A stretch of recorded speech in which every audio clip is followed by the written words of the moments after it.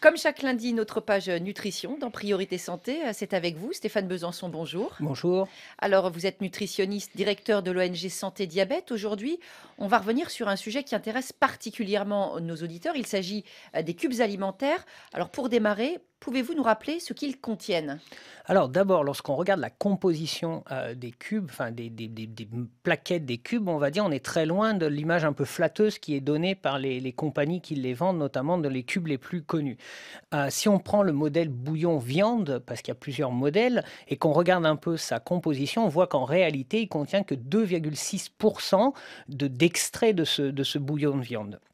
Et qu'en fait, si on regarde la composition en détail, on va s'apercevoir que la composition en glucides, lipides et protéines, en, éléments nutritifs et en minéraux est très très faible et qu'en fait la majeure partie de ces cubes, c'est euh, composé de sel.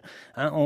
il est présent en très grande quantité puisqu'on a à peu près 0,46 g de sodium, soit 1,2 g de sel pour une portion de 2,5 g, ce qui veut dire qu'un cube entier, parce que c'est exprimé en quart de cube sur les cubes, les portions, fait pratiquement 5 g de sel. Alors pour bien comprendre comment se situe cette quantité de sel apportée par un cube alimentaire par rapport à, ce qui est nécessaire pour toute une journée. Cette quantité est totalement énorme parce qu'il faut rappeler que l'Organisation mondiale de la santé recommande 5, une consommation maximale de 5 grammes de sel par jour, qui au, mieux est réparti en 1 gramme par portion alimentaire consommée. Donc si on regarde sur, de nouveau, si on revient sur notre paquet, on s'aperçoit que cet apport d'un cube représente pratiquement 80% de l'apport journalier de sel, sachant que là-dessus, on n'aura pas le sel qui est apporté bah, dans, dans, tout ce qu'on va mettre pour préparer, mais aussi dans le sel qui est contenu naturellement euh, par les aliments. Et il faut savoir, l'autre deuxième gros problème, c'est que les cubes qui sont vendus en Afrique sont un tout petit peu plus gros, donc ils ne sont pas moins bons ou meilleurs, mais ils sont juste un peu plus gros.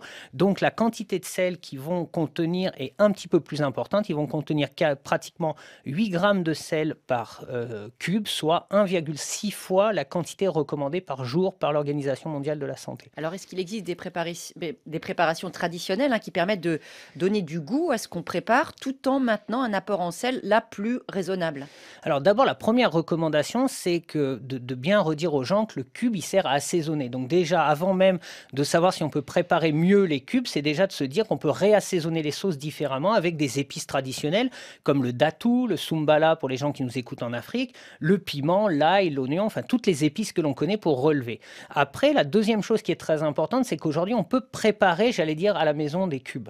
Alors il y a deux solutions, enfin deux choix, j'allais dire. Soit on veut un peu préparer l'équivalent des cubes bouillon euh, viande par exemple. Donc là, il suffira de récupérer des os ou des, morceaux de viande utilisés, euh, de les faire bouillir pendant 1h30, de les s'assaisonner un peu, de, filtrer ce bouillon et ensuite de mettre ça dans des petits carrés comme les petits carrés à glaçons et de mettre ça au congélateur et du coup on obtient des cubes. On peut faire exactement la même chose avec les légumes, de faire un mélange de légumes pendant à peu près, les faire bouillir pendant une heure, bien assaisonner aussi et les mettre de nouveau au congélateur et après il suffira de prendre les cubes et de les mettre dans la sauce et ils seront totalement euh, naturels. Et Stéphane, si on n'a pas de congélateur, qu'est-ce qu'on peut faire? Alors c'est la question qu'on nous pose souvent quand on dit ça, notamment dans des pays où il y a des problèmes avec l'électricité et les congélateurs. Et eh ben là, on peut faire exactement la même chose. La seule chose sur laquelle il faut faire attention, c'est la qualité, j'allais dire la conservation, pour pas que les cubes euh, se périment et puissent avoir des problèmes de santé. Donc il suffit de faire la même chose, mais de les conserver au frigo et de pas les, les conserver plus de trois jours pour qu'on soit sûr qu'il n'y ait pas de contamination. Merci beaucoup Stéphane Besançon. Je rappelle que vous êtes nutritionniste et directeur de l'ONG Santé Diabète.